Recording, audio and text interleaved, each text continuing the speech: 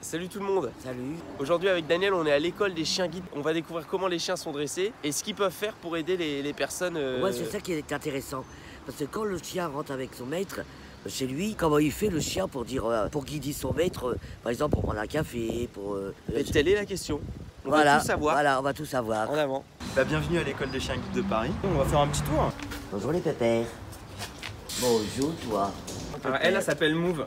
Alors bon, C'est elle que, que Oh. vous allez voir travailler tout à l'heure. t'es belle toi. Oh, ils sont mignons. Oh. Oh. Adorable. Voilà. Ils, ils sont envahissants en Oh fait. là là. Oh, ouais, ils sont mignons. Oh, vous êtes trop mignons, les gens. Ils sont...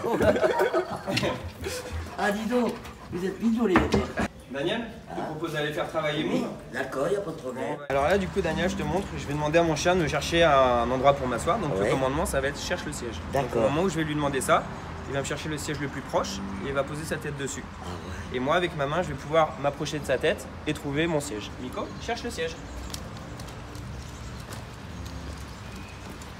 Oh, c'est incroyable. Super, mon loup. Cherche le siège. Oh, bien, mon pépère. C'est bien là. C'est bien, mon garçon. Brave, brave, brave bête. Ah ouais. Ah, c'est dingue. Nico, cherche la porte. Ah, c'est bien. C'est incroyable. Ouais. Donc là, par exemple, je peux demander à mon chien de me rechercher un bus. Nico, cherche le bus.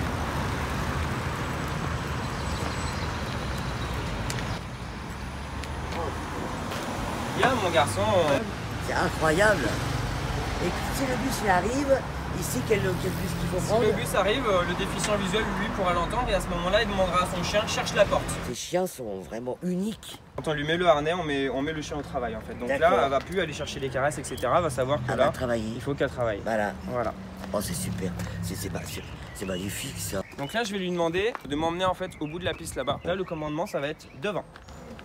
Oh là là, c'est c'est incroyable. Donc là, voilà, prends bien en compte mon gabarit pour m'emmener loin de cet obstacle-là. Donc là, Mouv, ce qu'elle vient de me faire, elle vient de me faire un marquage assis. C'est pour me dire que là, j'ai la place de passer, Ah d'accord. mais qu'en fait, euh, il faut faire attention parce que l'espace est vraiment réduit. Oui. Donc là, ce que je demande au chien, je demande un va.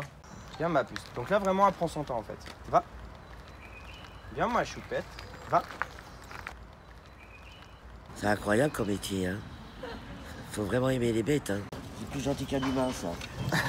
non mais c'est vrai. Hein. C'est souvent le cas.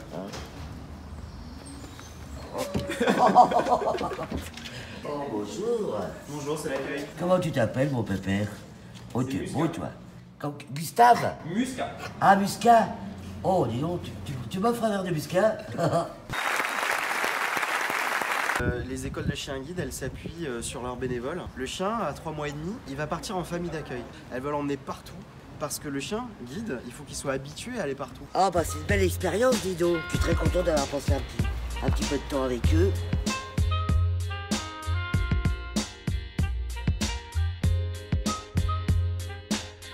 Oh oui, oui, les gens, des...